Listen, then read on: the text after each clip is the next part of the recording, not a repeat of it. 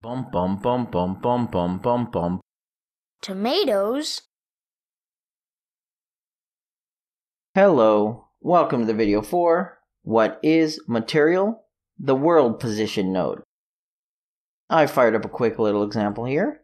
Now if we look at this mesh that I have below us, it looks pretty good. We've got a texture lining up. But this isn't actually a mesh. This is two different cubes of two different sizes that actually look like they are one because our texture is seamlessly blending across. And we're using our world position node to do that. So what is our world position node? Well, it's pretty simple. It's going to give us back the current pixel in world space and where it's at, the position of it. And that's it. It's as simple as that. That's all it's going to give us back. Now it's going to give us back an X, Y, and a Z, and for example, what I'm going to do is I'm going to split that off into an R and a G, or an X and a Y, and I'm going to go ahead and feed that into the UVs on a texture sample. What that's letting me do is, when I move this block, it's going to go ahead and update the texture in real time on this vertical portion here. And you'll notice no matter what, it's going to match up with our texture. So that one texture itself, no matter how many different items we have on this setup. Like you could duplicate this and we could move this over here. And then we could scale this to 2 by 2 by, well, that's 22. 2 by 2 by 2. And we didn't need the second 2. And we move it again. Now we have three different items and they're all matching up properly. And they'll continue on like that. So, the absolute world position has a few different options here. We have the including material shader offsets, excluding material shader offsets, and these are the world position version. Then you have the camera relative world position, which means it's going to adjust it based on where the camera is at. And if we were to go and run this, we're not really going to see much of a difference here. What you're going to end up seeing is because our camera is changing, the texture itself is changing where its position is relative to the camera, but it's still going to tile properly. As you can see, we still have the appropriate tile across.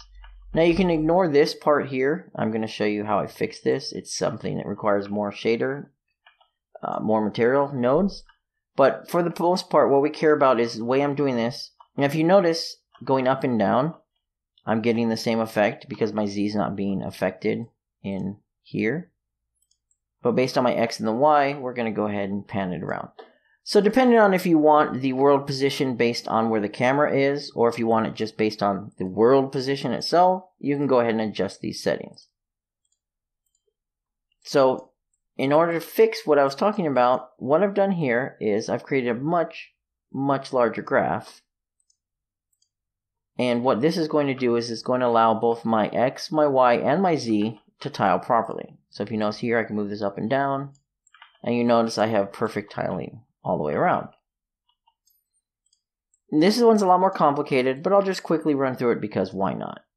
What we're doing here is we're getting the absolute world position, and then we're breaking out our x and our y, and our y and our z, and our x and our z. And then we're lerping between them and setting up that as our UV.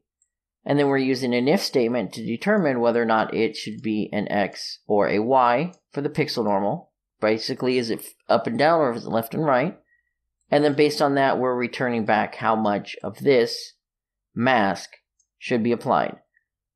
Long story short, both, basically this is going to give you back something that gives you back a absolute world position aligned texture along your X, Y, and Z. As you can see here. My Z has a world aligned texture, and my X and a Y, yeah, look at the top part, has a perfectly good world aligned texture.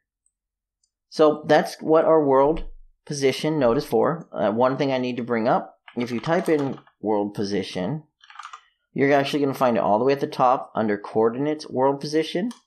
Even though it says absolute world position, including material offset, or absolute excluding, or camera relative world position, those are just different settings on the actual world position node itself.